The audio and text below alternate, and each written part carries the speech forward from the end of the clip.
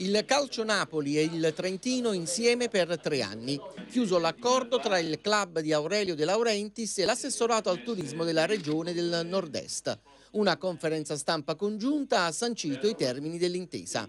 Sarà Di Maro Valdisole come lo scorso luglio ad ospitare la comitiva azzurra una partnership nata anche con l'intento di far conoscere ai tifosi napoletani il comprensorio non solo nel periodo estivo.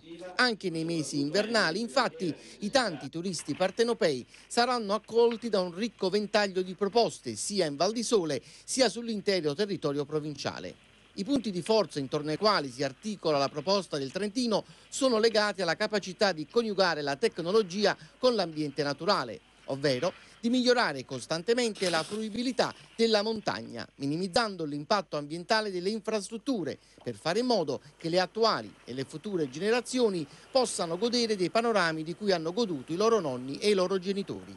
Non è un caso che la novità più interessante dell'inverno 2011-2012 sia il varo del nuovo collegamento funiviario, grazie al quale la Sky Area Madonna di Campiglio, Pinzolo, Val di Sole è ora realtà oltre 150 km di piste fruibili senza togliersi gli sci dai piedi e con un unico ski pass.